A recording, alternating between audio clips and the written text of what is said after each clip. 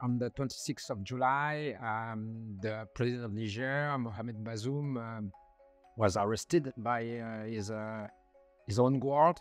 And uh, soon after that, uh, the head of the presidential guard stated that it was a coup and that he was leading a military uh, transition. Soldiers in Niger have seized power and say that they have overthrown the country's democratically elected president. Soldiers announced the military takeover on Wednesday, ousting President Mohamed Bazoum, who'd been in power for only two years. A charged atmosphere in front of a military base in Niamey. Tensions between Paris and Niamey continue to mount. So this happened in a, in a, in a broader context. Niger, uh, you know, is one of the three Sahelian countries affected by uh, jihadi insurgencies. Two other countries, Mali and Burkina Faso, uh, suffered from a military coup in the last uh, uh, couple of years. And Niger was, you know, the, the last country holding to uh, to democratic principles, but also in a position to at least slow down the expansion of of jihadist groups, if not actually, also to um, to really push them back to to other areas.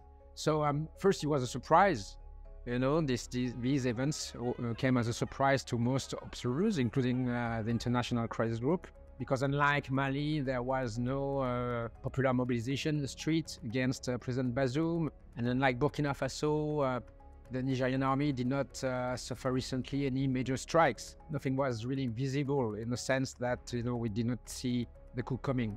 It is the head of the presidential guard, uh, General Tchiani, decided to arrest President Bazoum. And according to some rumors, uh, President Bazoum was planning to sideline Tchiani.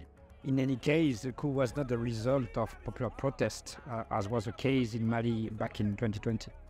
So as of now, uh, President uh, Bazoum is still uh, in detention. He has refused to resign there is a, a, pretty important mobilization from uh, the ECOWAS, you know, the, the regional body of West African uh, countries, to push for uh, not only his release, but also uh, his, uh, his comeback. Other countries also have stepped in and support uh, the ECOWAS, um, France, of, of, course, because they have you know, a, a pretty important military presence in, in Niger, the US too. Um, but I would say that there are uh, some tensions on how to solve this difficult situation. Part of, uh, of uh, the international community, including the ECOWAS and possibly France, um, are considering at least uh, a military option if the President Bazoum is not uh, is not released soon. Other countries, uh, including Algeria, for instance, including the African Union, also the possibly the US and a few European countries, would favor much more uh, uh, uh, a diplomatic um, negotiation, you know, a dialogue with uh, with the uh, with the junta, and they are concerned about the uh, consequences of a military option. But to be honest, French position um, is a bit ambiguous. First of all, you know, they stick to democratic principles in Niger, but they have not done the same in Chad, for instance, in Chad, the, the, son of President Déby took over power after the death of his father. Or in Mali, for instance, in 2020, when there was the first coup. The French uh, government initially supported the new transition authority, uh, and it took a second coup before the relations between the junta and, and France uh, deteriorated. The French army was expelled from Mali in 2022, as well as from Burkina Faso, soon after the coup by uh, Captain Traoré in Ouagadougou. In Niger, the French army have deployed over 1,500 personnel, mostly in Niamey, and they are concerned that this personnel may be kicked out uh, of the country as, as in Mali or, or Burkina Faso. This is also one of the reasons why the French are so prompt to stick to democratic principles and ask for the return of President Bazoum. The junta is actually instrumentalizing the uh, anti-French um, sentiment that has developed in the region and that has developed also uh, in Niger.